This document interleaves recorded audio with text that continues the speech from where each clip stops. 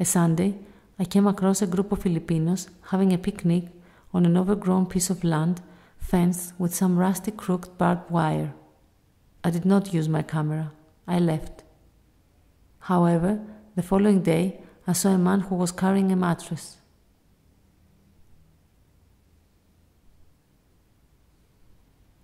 At first, I wanted to avoid him, to run, to change route. Yet, I did the exact opposite. I followed him. And for a moment, I had the feeling that I was the one carrying the mattress and that he was someone who was walking on fire. Some find the neglected seductive. They take pictures. They make an image out of it. I've seen it happen many times, but I don't. So don't ask me for images from the city, because I only like the whisper that comes out of some images, and it is almost incomprehensible to me.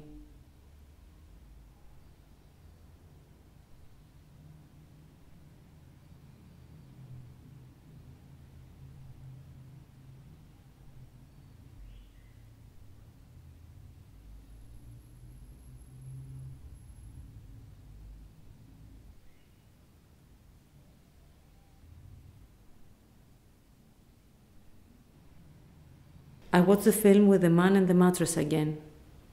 He is an animal. He is a poor man. He is rich. He is a bearer. He is from the south. He is Western. He is someone from the east. He is a father. He is a child.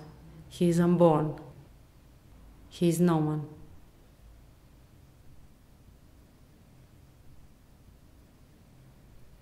There is a big fire that is burning the center of the city, and you can smell it, but you cannot see it.